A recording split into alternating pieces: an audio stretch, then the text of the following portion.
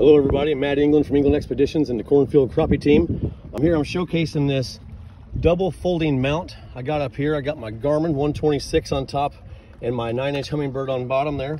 As you can see, right off that trolling motor, I got my LiveSweep. That's ran by a wireless remote and wireless foot pedals. As you can tell, that trolling motor is on spot lock.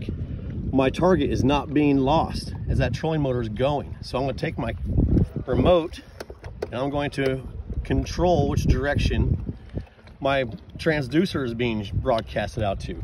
So again, look at that movement of that LiveSweep from cornfield crappie right there.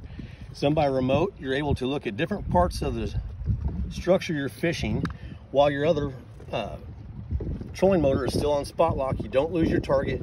You're able to fish, you know, a lot more thorough. It's an unbelievable uh, product. It's an unbelievable combination. Having this double folding mount, it's up here right at 36 inches.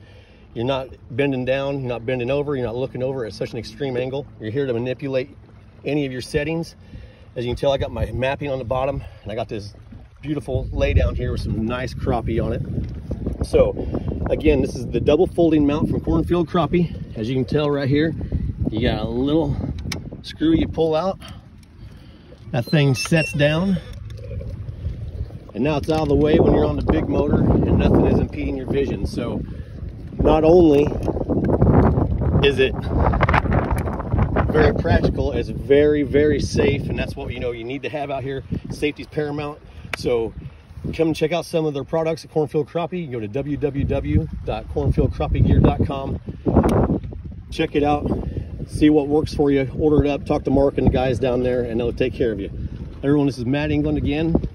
Just wanted to show you a couple things from the Cornfield Crappie line that I'm able to use. So everyone have a great day and happy fishing.